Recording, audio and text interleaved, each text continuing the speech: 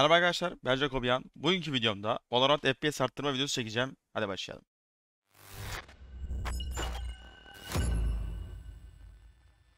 Valorant'ta düşük FPS alıyorsanız FPS'inizi yükseltecek 15-20 ayar göstereceğim size. Şu an sayısını saymadım.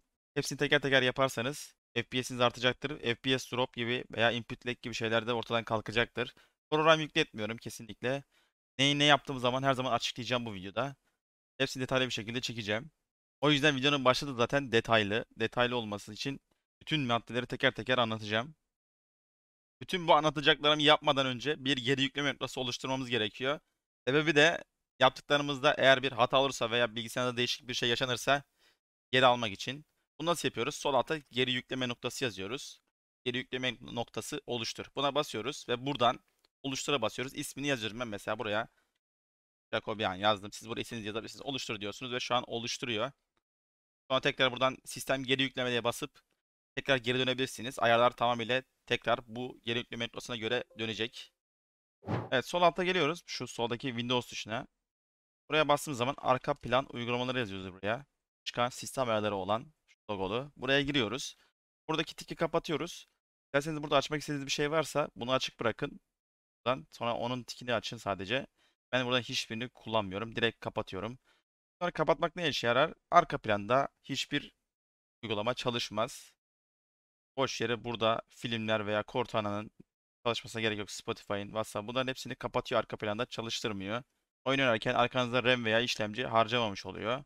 Bir diğeri de sol alta gelip tekrar gizlilik ayarları yazıyoruz. Gizlilik ayarları yazdığımız zaman buradaki ilk 4 tiki kapatıyoruz. O gördüğünüz gibi zaten okursanız da açıklıyor. Reklamları sizin için daha ilgi çekici hale getiriyor. Ve buradaki kimliğinizi sıfırlayacaktır bunları kapatmanız. Yani arka planda artık sizin verilerinizi toplamayacak. Buraya gelip konuşmaya basıyoruz. Konuşmada da kapatıyoruz. Mürekkebe giriyoruz. Mürekkebi de kapatıyoruz. Anlama ve geri bildirime gelip bunların hepsini kapatıyoruz. İsteğe bağlı yapıyoruz ve burayı siliyoruz. Son silmeyi ben burada 12'de yapmışım. Zaten bir daha toplamadığı için bir daha silmedim. Etkinlik geçmişi diyoruz ve etkinlik geçmişimi bu cihazda depola tikini kaldırıp temizle diyoruz. Ve burayı tekrar kapatıyoruz. Üçüncüsü oyun modu. Buraya gelip tekrar oyun modu ayarları yazıyoruz. Oyun modunu açıyoruz. Oyun modu Windows'un kendi bir eklentisidir. Bunu açmanız işe yarayacaktır. Zaten burada daha fazla bilginin direkt sizi bir siteye yönlendiriyor. Bunun FPS testlerini de ben çok seyrettim gerçekten. 10-15 FPS tabi bilgisayarınıza göre değişecek. Farkları ortaya koyuyor. Burada mesela bilgisayarınızı en iyi duruma getirir diyor. Çünkü arka plandaki çoğu şeyi kapatıp oyunu odaklanıyor bilgisayar. Sonra tekrar buradan gelip Xbox Game Bar'a basıyoruz. Burayı kapatıyoruz. Altındaki tiki de kapatıyoruz. Yakalamalara gelip buradakilerin hepsini kapatıyoruz. Xbox sağına gelmenize gerek yok zaten. Burası kapanmıyor. Başlangıçta açılacaklar. Buraya gelip görev menüsüne basıyorsunuz. Çıkan yerde başlangıca geliyorsunuz ve burayı büyütüyorsunuz. Buradaki her şeyi devre dışı bırakabilirsiniz. Vanguard hariç mesela Valorant için şu an Vanguard devre dışı bırakırsanız oyun açılmayacaktır. Bunu başlangıçta açması gerekiyor. Ben Snap kamera ve Cortana, Cortana'yı kapatıyorum şu an. Bu şu an arka Lively Wallpaper arka plan uygulamam. Snap kamerayı da şu an kullanıyorum. Vanguard. Siz burada Windows Security de kapatmayın. Ben Windows'u güzel kullandığımı düşünüyorum. O yüzden kapatıyorum. Eğer siz iyi kullanmıyorsanız kapatmayın. Güç ve uyku ayarları var. Sol alta gelip güç ve uyku ayarları yazıyoruz. Güç planı düzenle var. Buraya geldiğimiz zaman güç plan ayarlarını değiştir diyor. Buraya geliyoruz. Gördüğünüz gibi burada AMD'nin kendi koymuş olduğu High Performance etkin. Bende şu an Ryzen 5 3600 var. Sizde varsa zaten bu ihtimal bunlar olmayacak. Gördüğünüz gibi burada nihai performans var. Ben yanlışlıkla 3 tane eklemişim. Nihai performans alıyorum. Bazen iyi bir oyun oynayacağım zaman iyi oyundan kastım biraz daha böyle güçlü grafiklerde olan oyunları oynayacağım zaman nihai performans alıyorum. Nihai performans ne işe yarar? İşlemcinizi ve ekran kartınızı %100'de kullanmaya yarar. High performansta bazen 98-95'lere falan düşebiliyor. Bunun videolarını da ben seyrettim. Tekrar bulabilirsem ekrana vereyim. High performans 3-5 FPS olsa biraz daha yönetiyor ve input lag'i falan da azaltıyor zaten. Bunu nasıl ekliyoruz buraya? Şu an iptal diyeyim. İsterseniz buradan tekrar açabilirsiniz. WinRAR tuşuna basıyoruz. Veya WinRAR derken Windows tuşu alt tuşunun sol tarafında CTRL'in sağ tuşu, sağ tarafında. Oraya basıp Win artı R tuşuna basıyoruz. Eğer buradan basamıyorsanız sağ tıklayın şu sol alttaki kısma çalıştır deyin. Veya buraya gelip çalıştır yazın. Bunun 3 tane çalıştır kısmı vardır. Buraya CMD yazıyoruz. İsterseniz buraya komut istemi de yazabilirsiniz. Bir giriş yolu var. Ben direkt böyle size gösteriyorum. Buradaki kısma açıklamalarda verdiğim veya yorumlarda bıraktım. Şu an ekranda da gözüküyor olabilir ama ekranda zaten yazamazsınız. Bu yazıyı yapıştırıyorsunuz ve enterliyorsunuz. Ne performans etkin oluyor. Ben şimdi tekrar buraya yazacağım. Büyük ihtimalle 4 tane olacak. Şu an gördüğünüz gibi etkin oldu. Buraya gelip tekrar gösteriyorum. 1, 2, 4 tane oldu. Ben buraya her zaman video çektiğimi tekrar ekliyorum. O yüzden 4 tane oldu. Buna basıyoruz ve şu an işlemcimiz ve ekran kartımız %100 şekilde kullanılıyor. Ben genelde burada kullanıyorum. Çünkü işlemci ve ekran kartımı yormak istemiyorum. Biraz ısı değerleri çok yüksek oluyor. Ama siz eğer işlemcinizi ve ekran kartını yüksek kullanmak istiyorsanız onu nihai performansa geri çekin. Evet bir diğeri de geçici dosyaları silmek. Geçici dosyaları silmek illa hani Valorant oynuyorsunuz değil. Windows'unuzun kendi hızını da arttırır. Buraya gelip 1000 liraya basıyoruz. Demin anlatmıştım. Buraya gelip çalıştır basabilirsiniz. 1000 artı R tuşuna basabilirsiniz. Buraya basıyoruz. Buraya ilk başta prefetch yazıyoruz. Prefetch yazdıktan sonra gelip buradan bunun hepsini CTRL A tuşuyla siliyorum ya da hepsini böyle seçebilirsiniz. Ben CTRL A'ya basıyorum. CTRL A all demek hepsini seçiyor. DLT'ye basıp diyorum. Silinmeyenleri atlıyorum. Burada kalsın. Tekrar WinRAR tuşuna bastım. Temp yazıyorum. Buradaki her şeyi siliyorum. Bunu buraya koydum. WinRAR yazıyorum. Yüzde temp yüzde. Sizde bu kadar temiz olmayabilir. Ben neredeyse her gün temizliyorum. Buradaki her şeyi siliyorum. Silinmeyenler kalabilir. Bunlar açık dosyalar olduğu için silemiyor. Bazıları da kullanıldığı için. Buraya gelip tekrar gelişim kutusuna giriyoruz. Ve hepsini boşaltıyorum. Sizin böyle tekrar tekrar açmanıza gerek yok. Ben açık bırakıyorum. Geçici dosyaları sil kısmı daha var. Buraya gelip geçici dosyaları sil yazıyoruz. Ve buradan da geçici dosyalar kısmında biriken şeyleri siliyoruz. Burada temple falan sildiğimiz şeyler genelde çerezler oluyor ama buradaki burada hepsini size göstereceğim. Küçük resimler, geçici internet dosyaları, teslim erişimi dosyaları, hatta Windows update'ler falan var. Şu an update yapmadığım için. Burada bakayım. Update'leri yapmadığım için burada gözükmüyor. Normalde sizde update'ler de varsa eğer burada 10 GB, 15 GB'ı görebilirsiniz. Ben buradaki hepsini seçiyorum. Dosyaları kaldırın diyorum. De eğer dediğim gibi Windows Update falan varsa 10 GB ise buralar silmesi büyük ihtimal 15-20 dakikayı bulacaktır. Çok zor siliyor. Burayı sildi gördüğünüz gibi. Şimdi ne yapıyoruz? Bilgisayara basıyoruz. Bilgisayardan yerel listeye giriyoruz. Özellikler diyoruz ve buradan diski temizle diyoruz. Buraya gelip sistem dosyaları temizle deyip buradan tekrar açıyoruz. Burada tekrar tarıyor. Buraya gelip hepsini seçiyoruz. Gördüğünüz gibi 51 MB da buradan siliyoruz. Burası sile koysun. Biraz yavaş silecek galiba. Ha, şu an sildi. Bir diğeri de masaüstü düzeni. Siz benim gibi burada animasyonlu veya çok renkli bir arka plan kullanmayın eğer bilgisayarınız çok kötüyse. Çünkü her alt tab süresinde bu resmi tekrar yapmaya çalışıyor ve arka planda bunu kullanıyor. FPS'iniz düşüyor ve alt tab süreniz çok uzuyor. Burayı siyah bir ekranda tercih edebilirsiniz. Mesela Jacobian yazısı vardı. Benim ilk videolarda görenler olabilir. Sadece Jacobian yazan bir wallpaper'ım vardı. Onu kullanıyordum. Bir de çok fazla klasör kullanmayın ekranınıza. Sade 4 tane var bende. Chrome'a giriyorum. Chrome'a da geldi buradan giriyorum. Burada durmasının bir anlamı yok ama güzel duruyor 4 tane olması. Sadece bilgisayarım geri dönüş pozisyonu ve belgelerim kalabilir. Sade bir ekran kullanırsanız olabilir. Yani buradan kişileştirden siyah ya da yemyeşil falan da kullanabilirsiniz. Sizin tercihinizde kalmış. Bir diğeri de MS Config ayarı. Sol alta gelip buraya ms config de yazabilirsiniz sistem yapılandırması. Veya WinRAR tuşuna basıp ms config de yapabilirsiniz. Burası açılıyor. Ön yüklemeye gelip buradan GUI ön yüklemesini yok işaretliyoruz.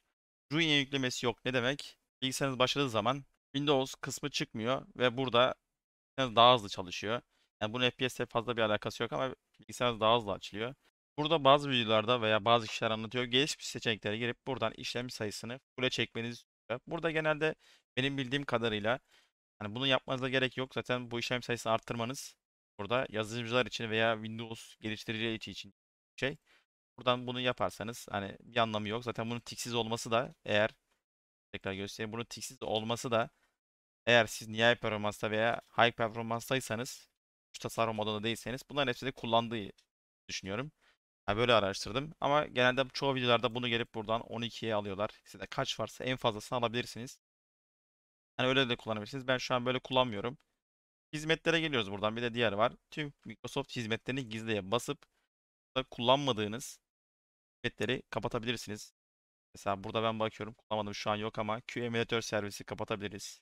Yani şu an Vanguard falan kapatmayın. Şuradaki de kapatabilirim. Büyükler PUBG'nin.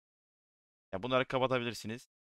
Kullanmadınız. Bunların hepsini araştırın. Google'a yazın. Bunlar ne? Asus ne? Benim muhtemelen ana, anakartın hizmetleri bunlar. Kapatmıyorum. Battle'yi de burada Fortnite'ın veya Epic Games'in falan olabilir bende. Google'da zaten belli.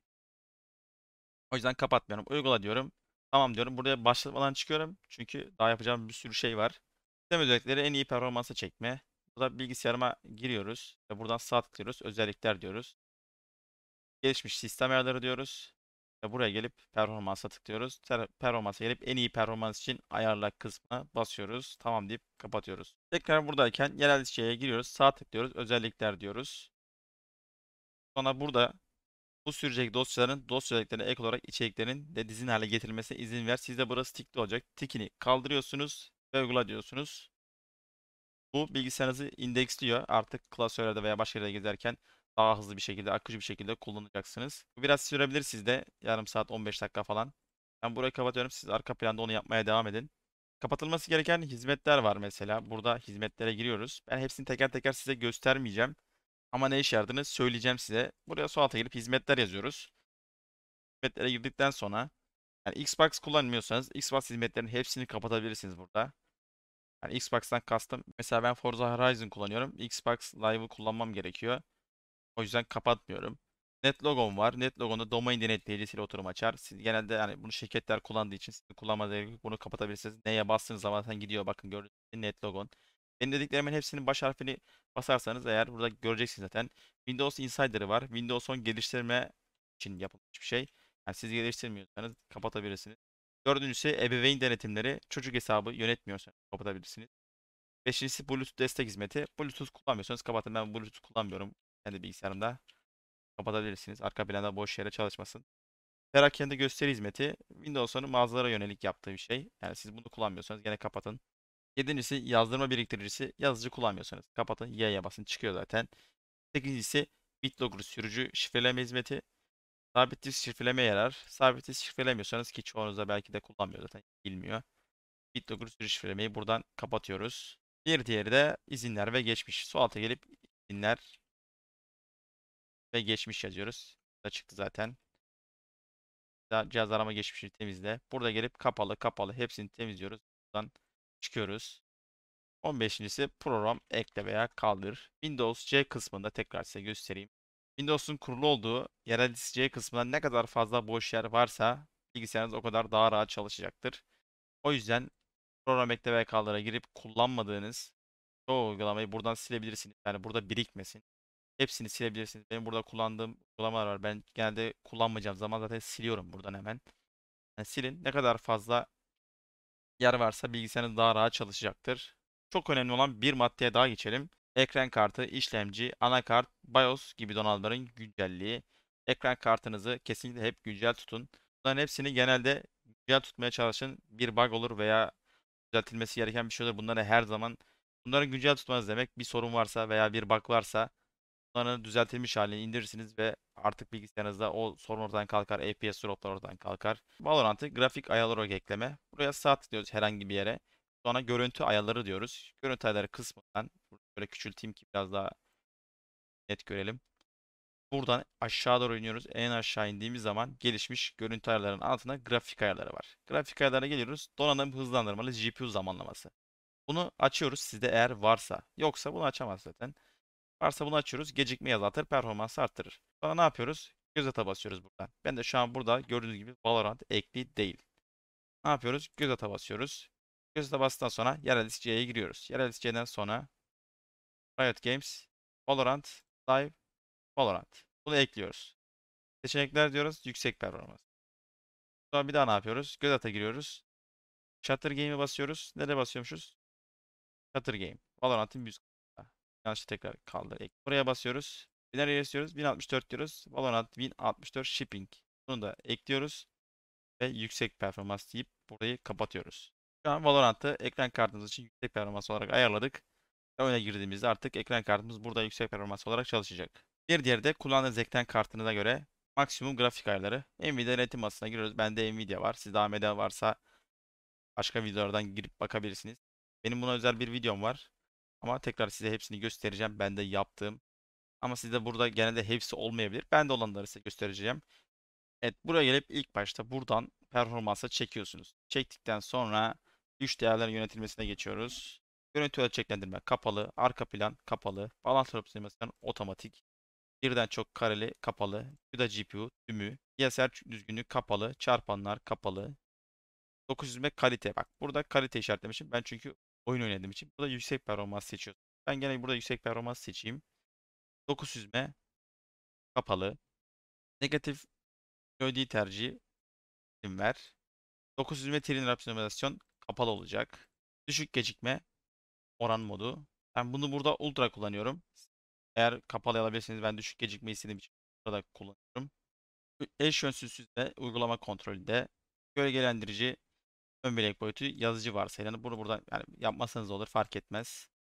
Güç yönetim modu, modu optimum güç. Bunu buraya basıyorsunuz ve maksimum performansı tercih et. Ben burada geri yükleye bastığım için şu an her şeyi teker teker sizle yapıyorum.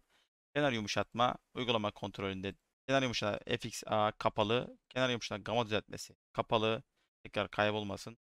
Kenar yumuşatma saydamlık kapalı, maksimum kara hızı kesinlikle kapalı. GPU OpenGL otomatik, otomatik, ortam kapatma kapalı, sağ gerçeklik kapalı, gerisi zaten kapalı, kapalı, üçlü ara bekleme kapalı. Uygula diyorum.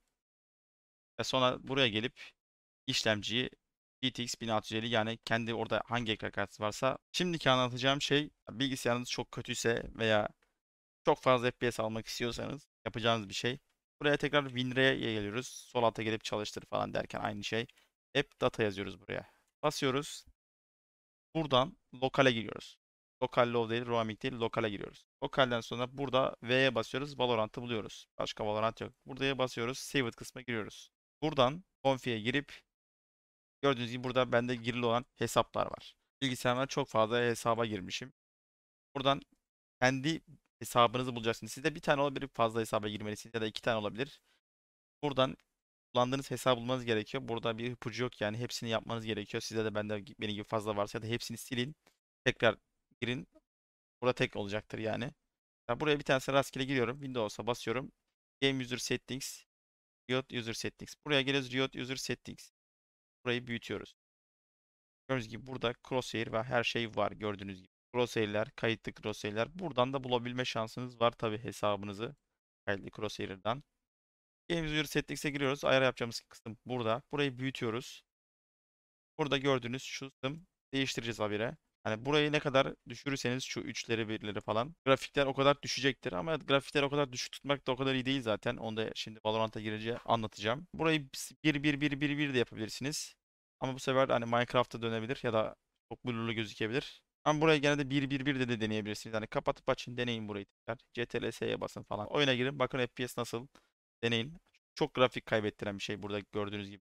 O şeyi düşüğe alıyorsunuz ama burada düşüğe 3 olarak düşüyor. Burada 1'e de düşürebiliyorsanız hani Valorant'ta ayarlar kısmında düşüğe çekiyorsunuz ya. Düşüğe çektiğiniz zaman 1 oluyor, 2 oluyor, 3 oluyor.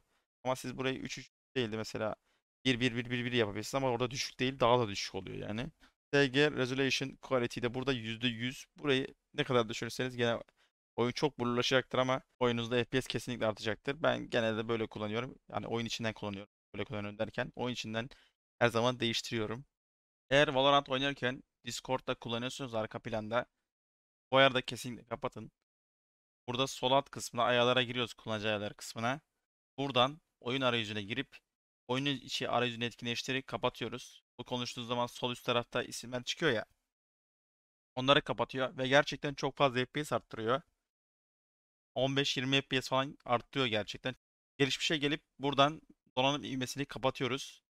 Bu beta'yı da kapatıyoruz. Ben kapatamıyorum. Şu an buraya gelip bunu da kapatıyoruz. Geliştirici modunu da geliştirici modunu da kapatıyoruz. Yani buradaki üçünü de kapatıyoruz.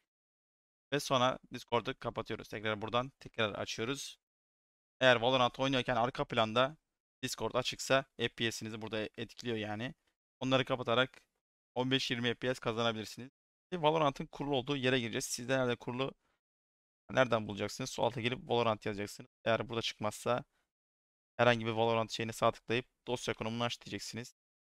Dosya konumunu aç dedikten sonra buradan tekrar dosya konumunu aç diyorum. Valorant'ın kurulu olduğu yere gideceğiz. Valorant diyorum. Live. Tekrar bulduk. Eklediğimiz yer var diye şu an burada Shutter bana hatırladıysanız. Sağ tıklayıp özellikler diyoruz. Özelliklerden sonra uyumluluk. Uyumluluğa basıp ne yapıyoruz? Tam ekran iyileştirmeleri devre dışı bırak. Buna basıyoruz ve sonra tek DPI'leri değiştir deyip buradaki tiki işaretliyoruz. Tamam diyoruz. Ne yapıyoruz? Sonra buraya basıyoruz. Tam devre dışı bırak. Yüksek DPI'leri değiştir deyip buraya basıp tamam diyoruz. Uygula tamam. Uygula tamam. Ne yapıyoruz? Shutter Game'e girip binary istiyoruz. 1064 azıcık aşağı inip tekrar buradan shipping'i bulup aynısını buna da yapıyoruz. Uyumluluk diyoruz. Tam ekran deyip buraya basıp buraya tikini işaretliyoruz. Buraya basıp tam ekran tikini işaretle tamam. Uygula tamam. Uygula, tamam. Şu an burada da işimiz bitti. Şimdi ne yapıyoruz? Valorant'ı açıyoruz.